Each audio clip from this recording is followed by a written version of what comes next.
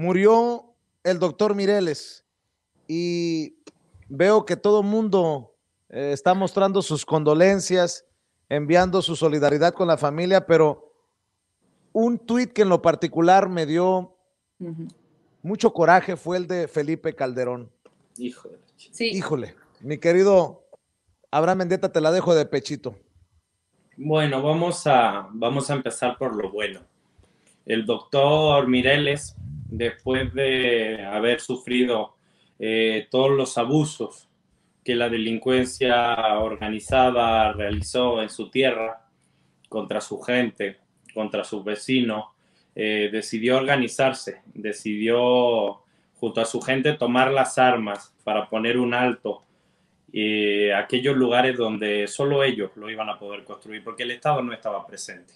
Les tocó defenderse solo de la delincuencia organizada que no surgió de la nada, que no surgió por generación espontánea. Fue una delincuencia organizada que surgió con la complicidad del gobierno, un gobierno que le aceptaba los sobornos. Recordemos, y lo digo con mucho respeto, que la organización a la que el doctor Mireles combatía, principalmente Caballeros Templarios, familia michoacana, fue la misma que cuyo líder, la Tuta, financió la campaña electoral de Cocoa Calderón la hermana del expresidente Calderón. Mireles se tuvo que levantar en armas contra el abuso de la delincuencia organizada, delincuencia organizada que financió la campaña electoral de la hermana de Calderón y ahora sale Felipe Calderón diciendo que lamenta la muerte de Mireles cuando Mireles dio su vida por combatir el infierno en el que Felipe Calderón convirtió en esta república. Yo hay una cosa